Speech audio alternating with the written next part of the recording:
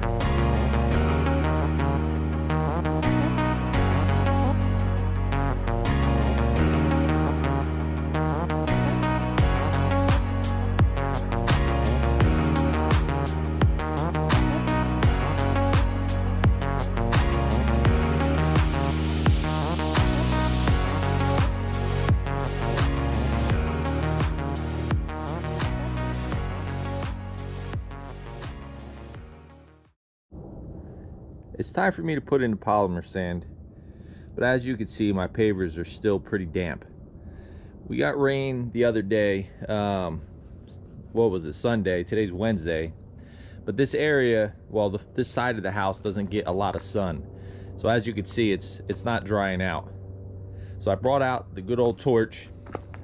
I'm gonna walk down and I'm just gonna heat them up as I go. And this this will get them dried out. I'm not gonna, I, I might not dry them in one pass. I'll probably take two because I don't want to heat the pavers up too much. I don't think it'll really do anything, but I always worry about discoloring them or anything. So I'm gonna get after that and then I'm gonna get the sand in. You can also see I, I put a put an edging in, an edging block all the way down. I wanted to record that, but uh, it was really cold the other morning, and I guess I, I don't know if I didn't charge my batteries on the GoPro or what, but they might not have liked the cold cold temperature because I wasn't able to get that on on film. But anyways, I'm excited to get this one done. This should be the last day. After I get this dried off, I'll compact them, put in the polymer sand, then I'll bring some topsoil in over here and clean this up and that'll be a wrap. I got some mulch too I'm gonna put in over here and, and inside that bed. But let's get started.